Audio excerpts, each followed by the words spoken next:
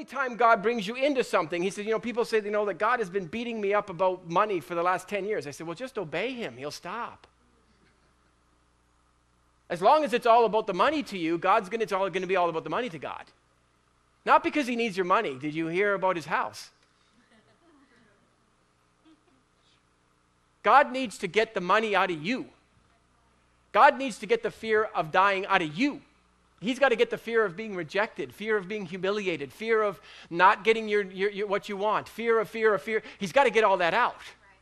And so, if in, if in fact, like where, we, where Tina and I lived for the first 15 years of our Christianity, you know, when I, got, when I became a Christian, I was worth a fair amount of money. And then about five years later, I wasn't. I remember somebody came to the door one time and they said, you know, they're broke. And I'm thinking to myself, jeepers, if I was only broke. You see, the problem is, is what, why did it take 15 years? Because I wouldn't die.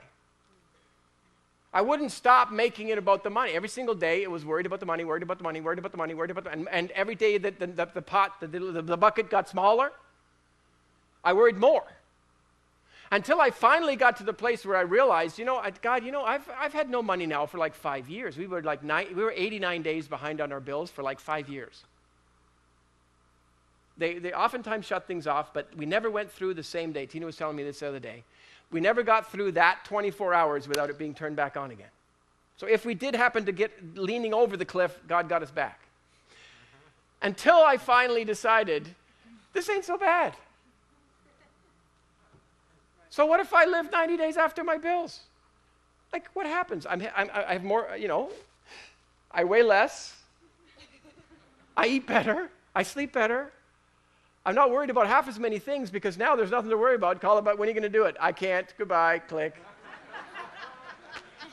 I don't even need a calculator to figure out how I'm going to do it. I can't do it. There is no answer. I don't know. Who comes first gets the money? It's up to you guys. Now fight!